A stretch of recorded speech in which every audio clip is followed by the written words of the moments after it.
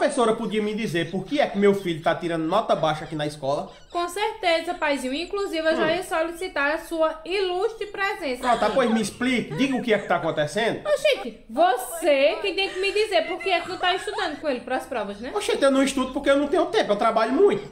Sim, meu amigo, mas o senhor pode tirar aquela meia horinha que o senhor perde do seu dia no celular para com seu filho. É obrigação dos pais participar da vida escolar dos seus filhos, rapaz. Ah, eu não sabia disso não, minha amiga. A mãe dela também não tem tempo. A mãe dela só vive no mundo, andando. Então pronto, então não inventasse de colocar filho no mundo, já que vocês não têm tempo de dar assistência a eles, né? E Não é obrigado, verdade? e obrigado tu me dar um sermão desse. A primeira vez que o senhor vem aqui na escola é essa. Nunca participou de uma reunião escolar. Seu filho já chega aqui, nunca faz uma tarefa de casa porque vocês não ajudam ele, rapaz.